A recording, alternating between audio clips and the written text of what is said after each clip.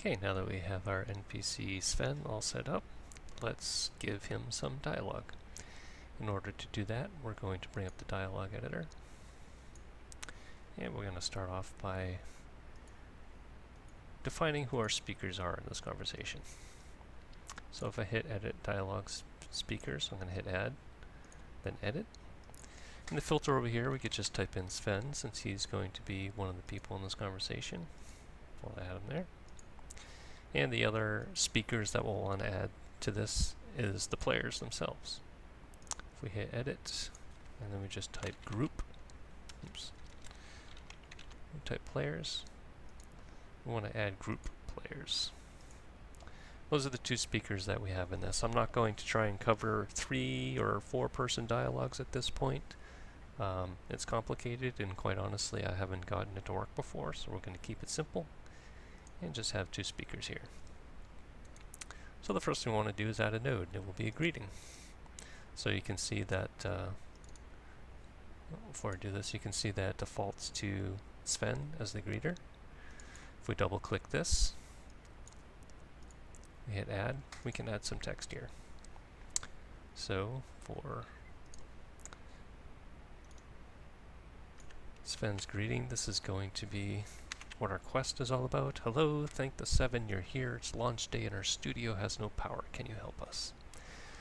Now, if you look over here, you see that there are rules. If we wanted to, we could add, you can add more than one text segment here. We could add another one, and we can define rules for um, when certain text blocks show up.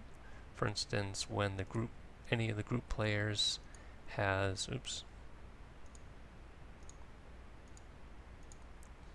has a tag, oh, you know, pet pal or something like that. You could add that to a text and then it would only display um, when that rule is met. But for now, we're not going to create any rules. We're just going to get rid of it, and this will always display. So when we click that, you'll see the text inside the box. And we'll want to add some possible replies for the player. Now there are a number of different um, options you have here for what kind of node is going to be added. For this one, um, it might not be intuitive. You might think that we would add an answer for this, but what we actually want to do is add a question node.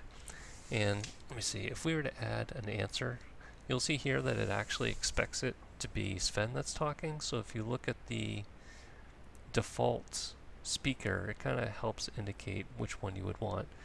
I think the reason they're called question and answer is because perhaps in a typical dialogue, uh, the NPC doesn't necessarily ask you a question in the very first statement. I think they typically expect a greeting, and then the actual player will ask a question like, what's your name, what do you do, so on and so forth. So anyway, for this purpose we want to uh, use a question node. And we'll add some text. And this is if the player accepts the quest. Of course, I can think I can't think of a more urgent matter. We'll add that. And for this one, um, we will want to add an end node because that will end the conversation. Uh, we can also get rid of these stubs. I don't know if they'll make a difference yet. Uh, these are basically there. Um, they were there for Larian Studios to indicate certain nodes that still needed voiceover or basically had not been finalized yet. But since we aren't doing that, we can get rid of them. Um, I don't know that the toolset has been updated so that the stub flags go away, but we'll get rid of them anyway and see what happens. Uh, so I'll add another question node. And for this node we will use what the player will say if they reject the quest. Sorry, I'm busy eating cheese. And we'll want to make that an end node. To get rid of the stub. And that should be it for a very simple conversation. So we will save this as npc Sven default.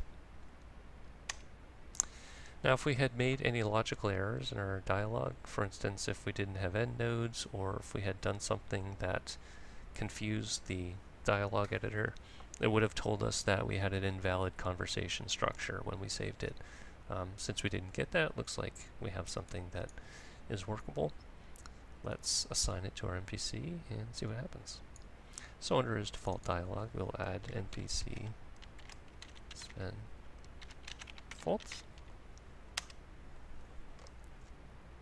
We'll save. And then we'll play. We'll on Sven, and here we go. Hello, thank the seven you're here. It's launch data our studios, no power can help us. And we get our two options here. And they did get rid of uh, the stubs on the options, but not on here.